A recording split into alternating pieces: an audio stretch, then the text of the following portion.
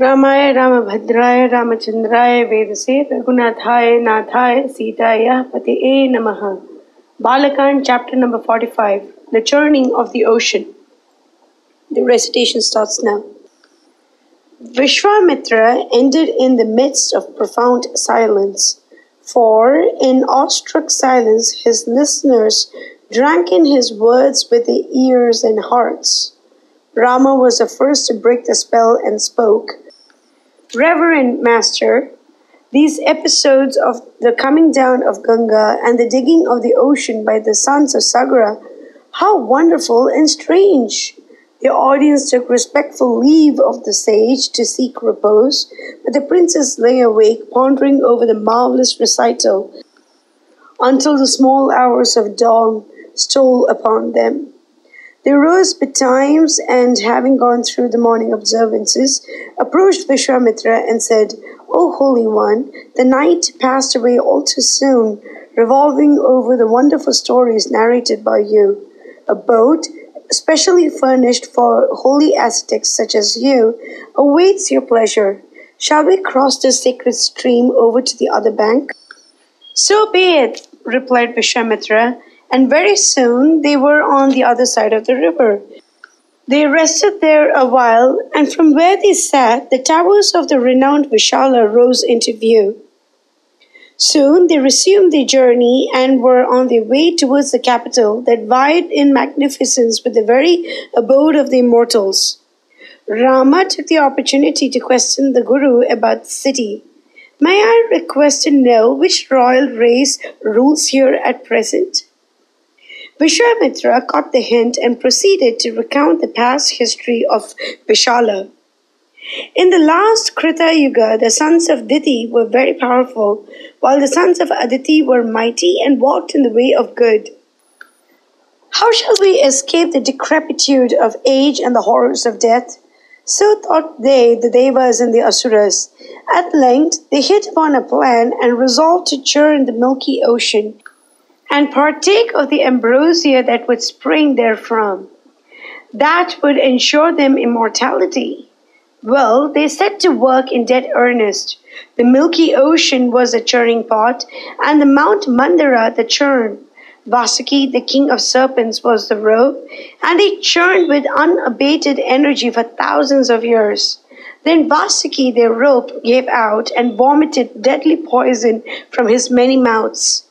While in the height of his agony, he crunched to atoms the hard granite of the rocks. First rose the fiery venom, Hala Hala, and began to consume the affrighted worlds and everything therein, men and gods, birds and beasts. The Lord of Light sought the presence of Mahadeva in his home of ice and snow, and lifted up their hearts and hands to him in humble prayer.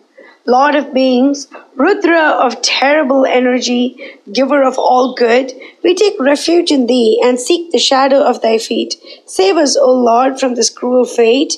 Thou art our stay and support. And to them thus engaged in heartfelt prayer and humble entreaty, there came the resplendent Lord Vishnu, his broad shoulders graced with a mighty conch and disc. And to the wielder of the trident spake he in accents of persuasive melody. These gods here churn the milky ocean and have come to offer you the first fruits of their hard labor. For, said he with a charming smile, you, brother mine, are the firstborn among them, and it behooves you to accept this hala hala as your portion and save them from destruction. He disappeared then and there, even while the sound of his sweet voice was still in the ears of his listeners. And the moon crested one, moved thereunto by the abject fear of the gods and the request of Vishnu, repaired unto the milky ocean and swallowed the dread Hala Hala, even as though it were a delicious draught of ambrosia. His mercy mission accomplished, he returned to his mountain home and left the gods to resume their arduous work. But a fresh misfortune was in store for them. The Mount Mandara, their churn, sank from view deep into the abysmal regions of Patala. Once again, the Devatas raised their voice in earnest supplication to the guardian of the worlds, the Lord Vishnu. All creation lives and moves in thee and has its being, but we are proud to claim a place in the warmest corner of thy heart. Lead us out of this mishap and find a way to keep the mountain firm while we churn the sea. And Hari the soul of mercy, laid himself in the deep waters as a mighty tortoise and bore the mountain on his back while his extended hands grasped it at the top and steadied the whirling mass. And wonderful to behold, he stood among the gods and churned as assiduously as any. A thousand years of hard toil, and there arose from amidst the seething waters Dhanvantri, the god of health, with staff and water pot. Next, the lovely Apsaras, 60,000 in number, their attendants, Ramadear, are past count.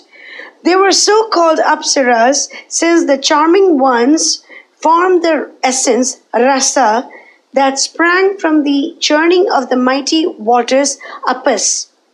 The gods would have none of them, nor the Asuras, hence they came to be common women, free to all. Next came forth Varuni, the daughter of Varuna, the lord of waters, and looked about for some one who would take her to wife. But the sons of Diti turned away from her in haughtiness and pride. Whereat the gods took that stainless beauty unto themselves with a glad heart. Hence the name Asuras that the sons of Diti went by, those that accepted not Sura or Varuni, while the gods rejoiced in the appellation of Suras, the lord of Sura. Next, Uchesravas, the prince of horses, then Kaustubha, the gem of divine luster, and at last the Amrita, the waters of immortality.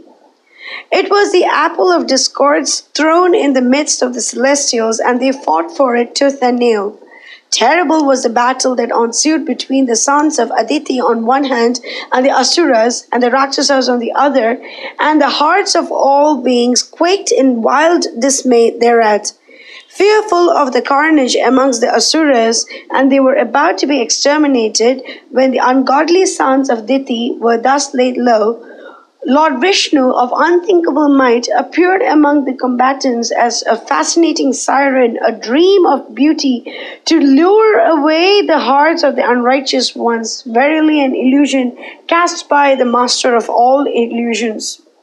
And bear away the hard one Amrita, and that they tried to bar his way, that unfortunate Asuras fell no more to rise. For was he not the ruler of the entire universe, the supreme Lord himself, who waxes not nor wanes? Thus were the impious brood of Diti overwhelmed with the angels of peace, the servants of the Lord, and Indra, the king and leader, regained his empire over the worlds, gods and immortals, saints and sages, and ruled wisely and well. Mangalam Koshlendra, Mahaniya Gunate Chakravarti Dhanurjaya Sarvabhaumaya Mangalam